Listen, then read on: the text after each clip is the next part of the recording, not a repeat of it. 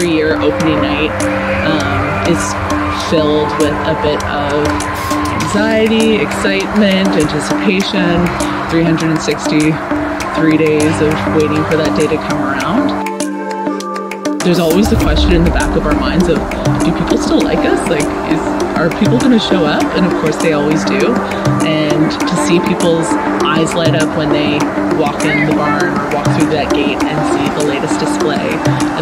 that is put on there is is just something that we all love and warms our heart.